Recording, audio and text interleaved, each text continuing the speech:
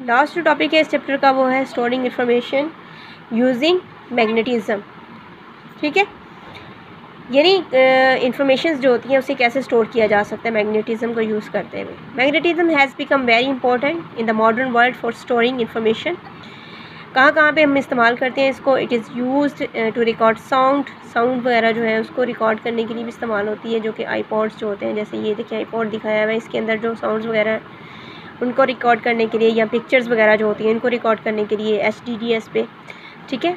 तो मैग्नेटिज्म जो है वो इस्तेमाल किया जाता है। And data on computer hard disk hard disk जो होती है कंप्यूटर की, उसके, उसको, उसके अंदर जो इन्फॉर्मेशन होती हैं, उसको भी स्टोर करने के लिए जो है वो मैगनेट्स यूज़ किए जाते हैं। क्रेडिट कार्ड्स आपने देखे होंगे, इसके ऊपर ये जो चिप लगी हुई होती है, ठीक है? या कैश डिस्पेंसर्स होते हैं कार्ड्स जो होते हैं, उसके अंदर मैग्नेटिक स्ट्रिप्स लगी हुई होती हैं।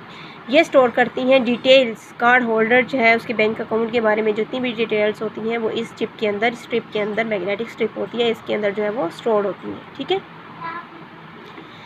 A big advantage of magnetic data storage is that the magnetic medium can be easily erased ठीक है यानी इसको हम मैग्नेटिक जो है, इसको क्यों यूज़ करते हैं कि ये मैग्नेटिक मीडियम जो है, इसके ऊपर जो इन्फॉर्मेशन होती है, उसको आसानी से अरेज किया जा सकता है, दोबारा रीराइट किया जा सकता है, ठीक है?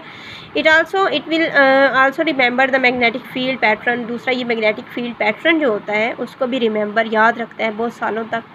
यानी बहुत सालों तक भी अगर वो चिप पड़ी रहे तो उस, ख़राब नहीं होती है, वो जो है, वो अपने अंदर स्टोरेज जो जो भी मैग्नेटिक पैटर्न उसको दिया जाता है, वो उसको उसके अपने अंदर स्टोर करके रखा होता है ठीक है? तो ये आईपॉड जो होते हैं, इनके अंदर साउंड वगैरह या सॉन्ग्स वगैरह जो है, उनको रिकॉर्ड करने के लिए इस्तेमाल किया जाता है। पिक्चर्स वगैरह को रिकॉर्ड करने के लिए इस्तेमाल किया जाता है। इसके अलावा ये क्रेडिट कार्ड्स जो होते हैं कैश कार्ड जो होते हैं, उसके अंदर ये जो मैग्नेटिक स्ट्रिप्स लगी हुई होती हैं, इनके अंदर भी इंफॉर्मेशन स्टोर स्टोर की जाती है। जो भी बैंक जिसके नाम पे ये कार्ड बनता है, उसके बैंक अकाउंट के बारे में या उसके बारे में जो भी इंफॉर्मेशन होती है, वो इस स्ट्रिप के अंदर होती है।